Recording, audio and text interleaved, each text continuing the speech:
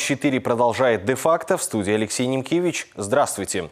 Вышел на дорогу и попал под колеса. В регионе все чаще стали сбивать пешеходов. Только за прошлый год произошло более восьми десятков аварий на пешеходных переходах. Отмечу, что таких происшествий было даже больше, чем наездов вне зебр.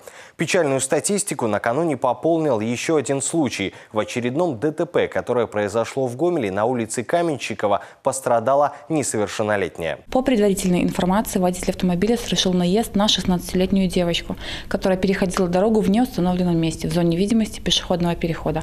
С травмами ребенок был доставлен в больницу. Напомним, что с начала этого года под колесами машин оказались сразу несколько школьников. Так, 19 января на улице Советской областного центра 13-летних сестер-близняшек сбила Мазда. Девочки переходили дорогу по всем правилам по пешеходному переходу на зеленый.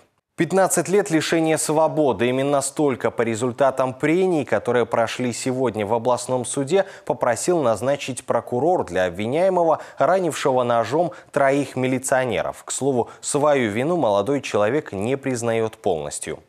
Напомню, инцидент произошел еще в мае прошлого года. Беглый преступник при попытке задержания серьезно ранил троих оперативников и сбежал. Преступника обнаружили в районе Центрального парка. Там он и попытался уйти вплавь через Сож. Его настигли бойцы ОМОН, им пришлось открыть огонь на поражение, прострелив беглецу обе ноги.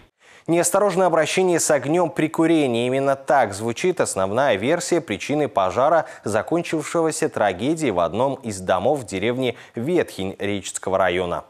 К моменту прибытия спасателей деревянное строение уже горело вовсю. Проникнув в помещение, сотрудники МЧС на полу в одной из комнат обнаружили тело мужчины 1986 года рождения. Как позже выяснится, погибший временно проживал там с разрешения хозяина дома. Коварная мебель. В Гомеле сотрудникам МЧС пришлось спасать ребенка, который застрял в обычном стуле.